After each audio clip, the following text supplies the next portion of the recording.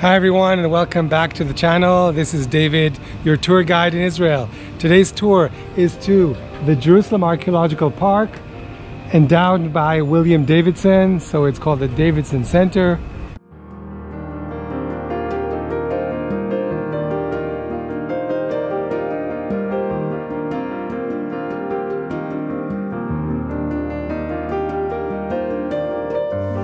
The archaeological park is the first sight you see as you enter the old city through the Dung Gate.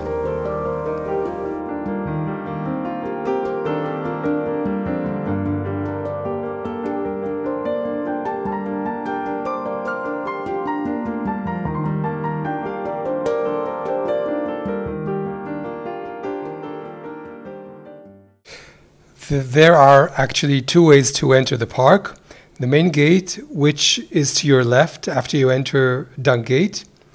But there is another entrance, and that is underground. If you are visiting the city of David, then the two sites are connected by an ancient underground tunnel.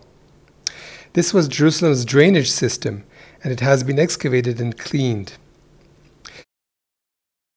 The exit of the tunnel is right in the middle of the Herodian street, just below Robinson's Arch. This is the Herodian Street. And there is the wall, the Western Wall. So in the first century, Herod builds the second temple of Jerusalem. It's considered the largest and most beautiful, magnificent building in the ancient world. But when we tour this archaeological park, I can show you quite a few things that are still visible from the days of Herod. This corner here is the western southern corner of the Temple Mount. Look at the size of these rocks. This is one stone. From here, that's the width. Look how long it is. This is like 10 meters long. And uh, look at how high this is. This is all Herodian building. Now, one of the rocks that they found lying around on the floor had this niche carved into it and an inscription. Not sure you can see the inscription. Okay, Lebe Tatkia something. Okay, here. Lebe Tatkia Lehavdil. And to the place of the trumpeting too. In the Second Temple days, this stone probably marked the place at the top of the southwest corner of the Temple Mount where the trumpeter announced the inauguration and the close of the Shabbat. So the trumpeter would stand here on the corner and he would announce the Shabbat, and there's the corner, and there's the inscription. Okay, le bet atkia le. And this stood probably all the way up there on the corner of the temple. This pile of rocks was found exactly as it is on this street. This is evidence of the destruction, the destruction of Herod's temple by the Romans on the day of the destruction, Tisha B'Av, the ninth day of the Jewish month Av in the year 70 AD. So we are walking on the original road. It remains of Jerusalem's main street running the length of the western wall about one kilometer. This is the beginning of an arch, follow my finger, that would be completed on that foundation and that would hold a staircase that would make it possible for people to climb up and reach the top of the Temple Mount.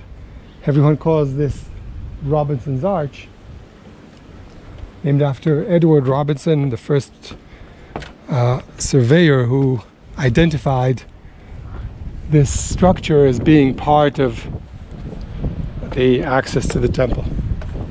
This whole area here is one of the most exciting in the tour. It is called the Ophel Mikveh Trail. During the period of the Second Temple, the pilgrims, the people from Judea, Galilee, Nazareth, when they came to visit the temple on the pilgrimage festivals, Sukkot, Pesach, Shavuot, they would probably come through here. Why do we think that? Because this is where they found many, many of the mikvaot. Okay, the purification baths. Like this one here. Rock cut Jewish ritual bath mikveh from the Second Temple period, first century. As you can walk down one side. There's the parapet, there's the and into the mikveh. This would be full of water. Okay, we can even see the hydraulic plaster still here on the walls. And then once you're purified, you come out from the other side.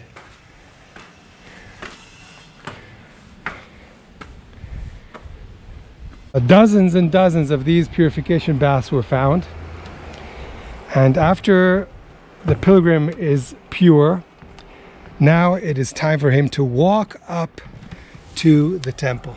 And these steps, okay, the steps leading up to the temple would lead through these doors. They're called the doors of Hulda.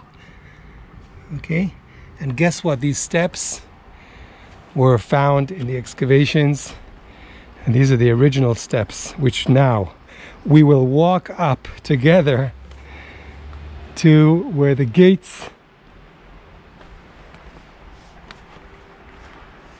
of the temple were. Okay, so the steps are built in a, in a way that there's only one, one step is wide and the other is narrow. Okay, two, na two narrow steps and one wide step. Two narrow steps and one wide step. Why is that? To prevent you from running. Okay, you want to walk up to the temple gently. You want to walk up with respect and you want to walk up and reach the holy site full of awe. These are the original stones, okay, from the days of the temple. There's actually an inscription here.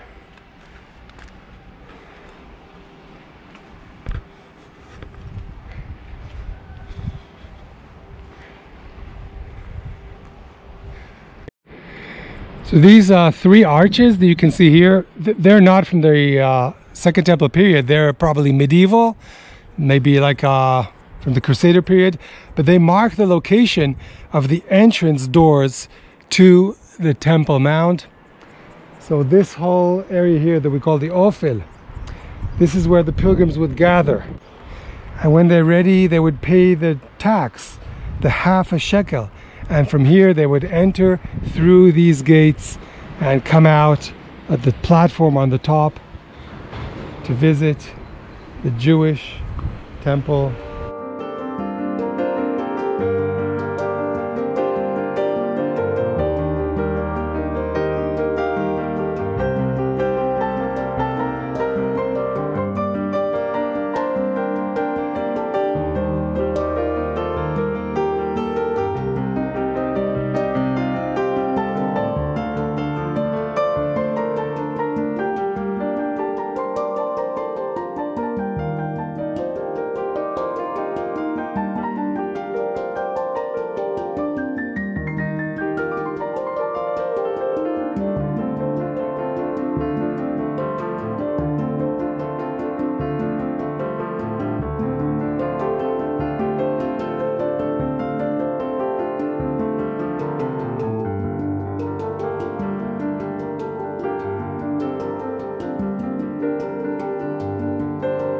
Hello everyone, I hope you all enjoyed this tour of the Davidson Center, the South Wall excavations.